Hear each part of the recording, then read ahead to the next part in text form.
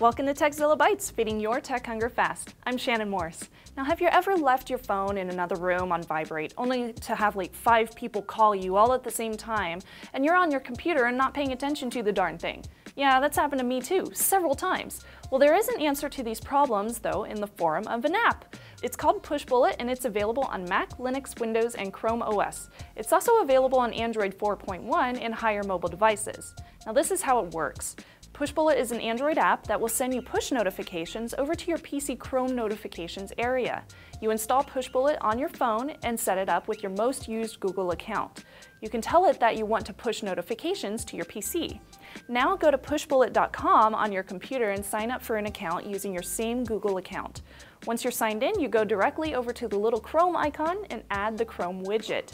Now that you have both Chrome on your PC and Android logged into the same account on Pushbullet in both places, it can start sending your messages to your Chrome Notification Center.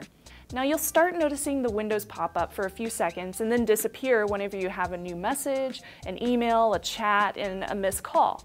Clicking close will make them disappear and clicking on them will open Gmail if it's an email. You can also push messages to and from your device by using the Pushbullet widget icon and opening up your inbox. Now you can also download the executable file from the site to use Pushbullet directly from your computer, not just Chrome. However, I would steer clear of that for a while because that exe file is bringing up a malware detection in certain antivirus software, and that's not good. If you want to disable mirroring, you can click Dismiss Mirroring on the notifications.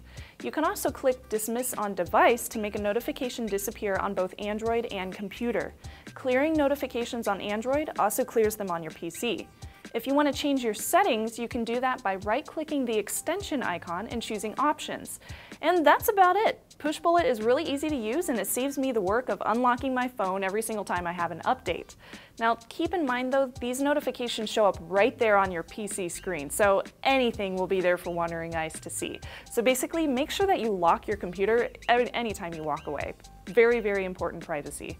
Now, while you're at it, check out some sweet audiobooks on Audible. If you haven't read Snow Crash by Neal Stephenson, I highly suggest it. It's a great cyberpunk novel set in the not so distant future, and it's so good. Audible.com is the leading provider of downloadable digital audiobooks and spoken word entertainment.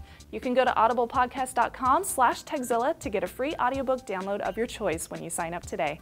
For more from Tekzilla, hit up youtube.com slash Tekzilla or tekzilla.com.